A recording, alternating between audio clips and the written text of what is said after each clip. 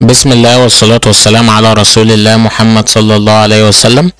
uh, Is competition among team members uh, healthy؟ هل التنافس ما بين أعضاء التيم دي حاجة صحية؟ The ways of working along with technology are changing very frequently now, uh, nowadays. Team members need to stay on top of the changes يعني طرق العمل بتختلف آه، كل يوم عن التاني. أعضاء ال team لازم يبقوا آه، على مواكبة للتغييرات دي. Hence having a competition among team members is healthy as long as it doesn't hamper the overall quality of work or team unity. يعني وجود منافسة ما بين ال team آه، حاجة صحية جدا. طول ما هي مش بتأثر على كفاءة الشغل أو وحدة ال team مع بعضه. There are some team members who might uh, not be that social and perhaps don't like to uh, indulge in competitions and such يعني ممكن يبقى في بعض أعضاء من ال team مش بيحبوا المنافسة ومش اجتماعيين قوي ومش بيحبوا يتنافسوا مع حد you as a team leader must understand that انت ك team lead كقائد لازم تفهم ده that and not force these employees وما تجبرش الموظفين دول to participate in a competition ان هم يشاركوا في المنافسة if after some time لو بعد uh, بعض الوقت they feel that their uh, colleges are benefiting from it لو شافوا uh, أو شعروا مع الوقت ان ال ال التيم بيستفاد من ده they shall automatically start participating بشكل تلقائي هتلاقيهم هم إيه ابتدوا يشاركوا in these activities في الانشطة دي how do you present an argument يعني إزاي uh, تقدم حجة It is uh, a well-known fact that great leader handle arguments بتتعامل مع الحجج smoothly بسلاسة and precisely precisely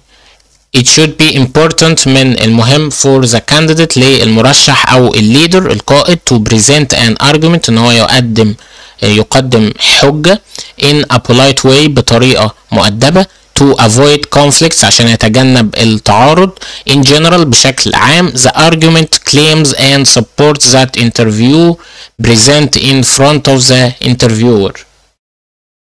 being a leader it is important to know كونك كقائد من المهم ان انت تعرف how to tackle and present arguments ازاي uh, تعرض حجة given ways should need to be adopted by the candidate to strongly and effectively present an argument عشان تقدر uh, تعرضها بفاعلية Listen before speaking اسمع قبل ما تتكلم explain each argued point اشرح كل uh,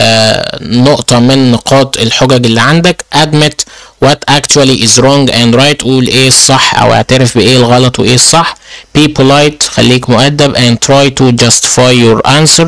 وحاول تشرح وتبين اجابتك uh, the argument should be strong and realistic لازم حجتك تبقى واقعية وقوية ask questions واسأل أسئلة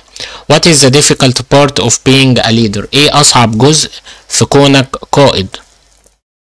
showing the right direction to the uh, candidate is the most difficult part يعني إظهار الاتجاه الصحيح للمرشح هو أصعب جزء leaders should be uh, assertive before providing guidelines uh, to the candidates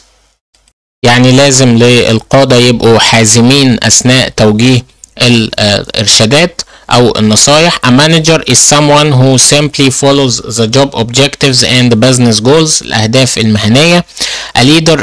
ده المدير الليدر القائد is responsible for مسؤول عن إن هو influencing the team members positively by motivating them إن هو آه، يلهم ويحفز ال team بشكل إيجابي. the leader should be a strong communicator لازم يبقى متحدث جيد قوي and they should understand the two way nature of communication to nurture good ideas from employees regularly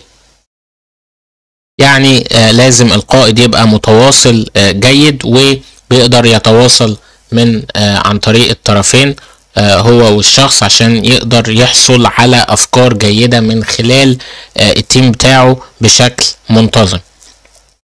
What are some challenges of being a leader إيه بعض التحديات كونك قائد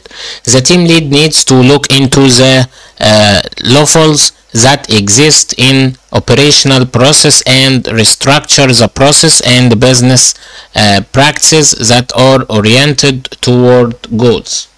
يعني القائد محتاج يدرس إيه هي الثغرات اللي موجودة وازاي يقدر يحلها. It was discovered that the majority of leaders are unable to overcome to organizational uh, problems due to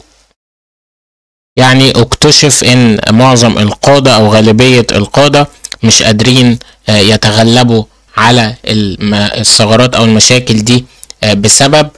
inability to learn by making uh, mistakes مش بيتعلموا uh, من الاخطاء يعني عدم القدرة على التعلم من خلال الأخطاء insufficient skills to resolve uh, conflicts عدم كفاية المهارات اللي عندهم عشان يقدروا يحلوا أي نزاع incorrect communication skills and team management عدم إدارة جيدة للتيم وتواصل غير صحيح مهارات تواصل غير صحيحة unskilled and insufficiently informed about the quality of a leader غير مطلع بشكل كافي على صفات ومهارات القائد unskillful choice of leadership style اختار نوع من أنواع القيادة غير صحيح. يعني اختيار غير ماهر لأسلوب القيادة اللي هو بيتبعه. How do you conduct a code review? إزاي بتراجع الكود وبتعمل code review لل team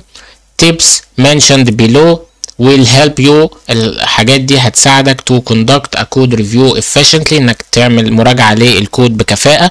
don't review more than uh, 400 code lines at a time ما تعملش review لأكتر من 400 سطر من ال code uh, في وقت واحد uh, an inspection rate of 500 LOC per hour is a good way to go معدل الفحص في 500 per hour في الساعة. طريقة كويسة إن أنت تبتدي بيها. Review code for one hour at one time.